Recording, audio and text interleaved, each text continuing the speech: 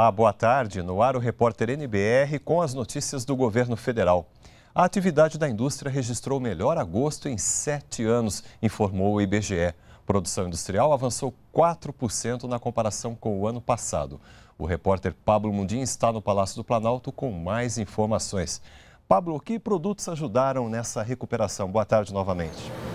Boa tarde, Roberto. Boa tarde a todos. Pois é, é, foram equipamentos de informática, produtos eletrônicos, imóveis, além de veículos, como comentamos mais cedo, tiveram resultado positivo no mês de agosto. 20 dos 26 ramos pesquisados avançaram. Esse crescimento de 4% em relação ao mesmo período do ano passado foi o melhor resultado para o mês desde 2010. A atividade industrial acumula alta de 1,5% neste ano. Volto com você, Roberto. Está ótimo. Obrigado, Pablo, pelas informações. E em uma rede social, o ministro da Fazenda, Henrique Meirelles, comentou os bons resultados recentes da economia. Meirelles disse que a retomada econômica já traz reflexos no dia a dia das pessoas e citou a queda do valor dos alimentos e o aumento do poder de compra do salário mínimo. O ministro destacou que o preço da cesta básica registrou a 14ª semana de queda consecutiva e que com um salário mínimo agora é possível comprar 16,7% a mais do que há um ano. O ministro citou ainda a retomada da confiança da indústria e afirmou que o país está revertendo a pior recessão da história. E os resultados positivos da economia incluem também a retomada da geração de empregos. Entre junho e agosto deste ano, o número de pessoas ocupadas no país cresceu 1,5%. Os números são do IBGE. O aumento do número de pessoas empregadas foi destaque na última publicação do IBGE sobre a situação do mercado de trabalho no país. De acordo com o estudo, a taxa de desocupação caiu de 13,3% para 12,6%.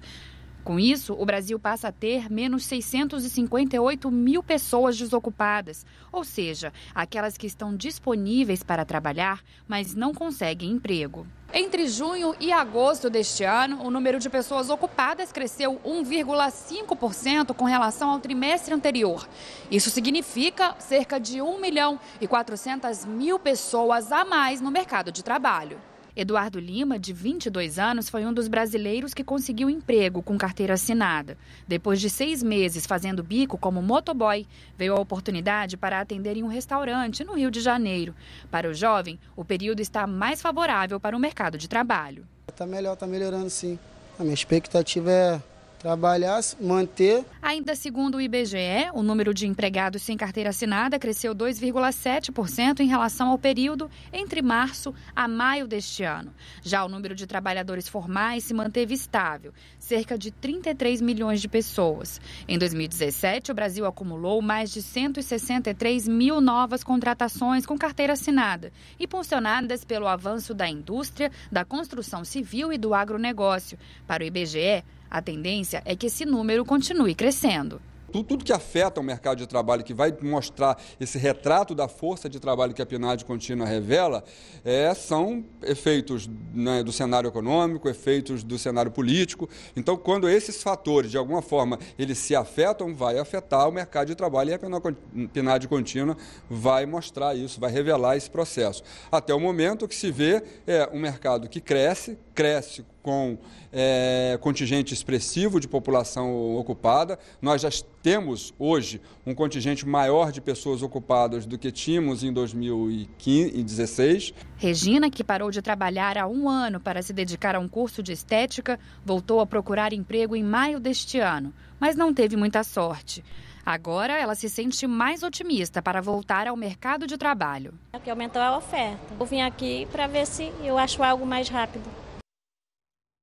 Bandeira vermelha de energia elétrica em outubro. A falta de chuvas fez com que o nível dos reservatórios brasileiros ficasse abaixo do esperado. A cor da bandeira tarifária depende do custo de acionamento das usinas termoelétricas, que são ligadas para suprir a queda da geração das hidrelétricas. Na casa de Angélica não faltam aparelhos eletrônicos. Tem panela elétrica, é, três televisores e os, as crianças têm joguinho, É, tem uma geladeira que eu acho que também é uma geladeira mais antiga, que ela está ainda no, no uso, e eu acho que ela também consome um pouco mais de energia. Tanta coisa ligada na tomada gera um custo. Angélica conta que por mês gasta cerca de 300 reais com a conta de luz, valor que pesa no orçamento mensal da família.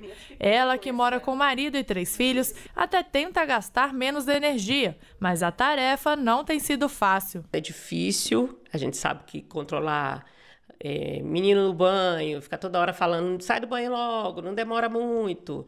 E entrar e sair do quarto, dos lugares, sem apagar a luz, isso aí é uma constante, eu tenho que estar sempre falando. Para ajudar a dona de casa na missão de economizar energia, consultamos Maurício, coordenador do curso de engenharia elétrica de um centro universitário em Brasília.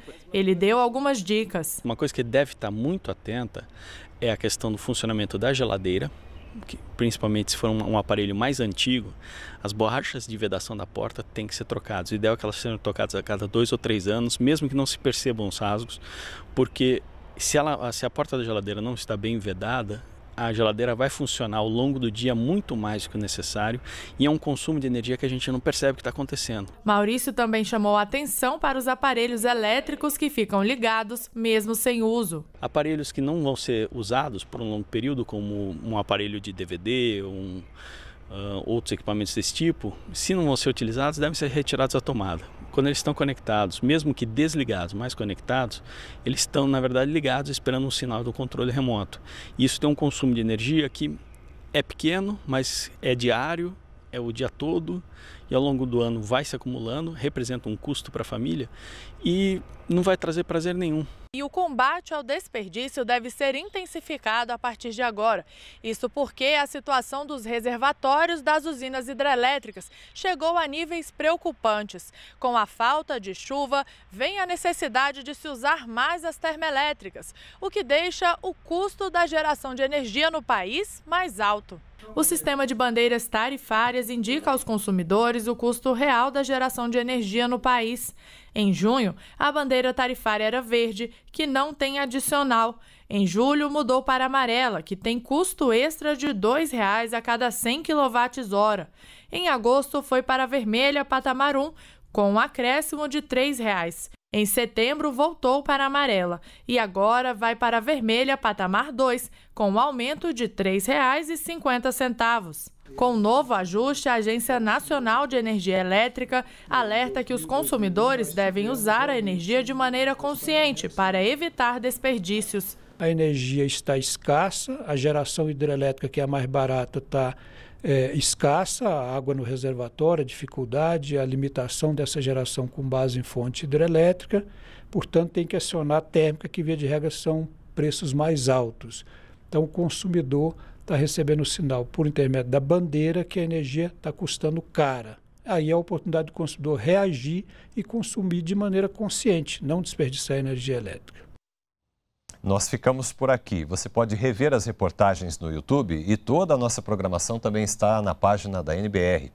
Uma ótima tarde para você e continue com a gente aqui na NBR, a TV do Governo Federal.